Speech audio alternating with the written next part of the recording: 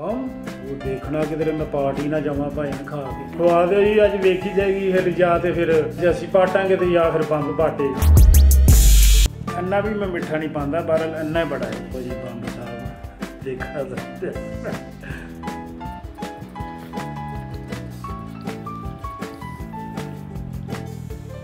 ਓਏ ਹੋਏ ਹੋਏ ਹੋਏ ਤੋਬਾ ਤੋਬਾ ਤੋਬਾ ਤੋਬਾ। ਵਾਕਈ ਜੀ, ਇਹ ਤੇ ਬੰਬ ਹੀ ਹੈਗਾ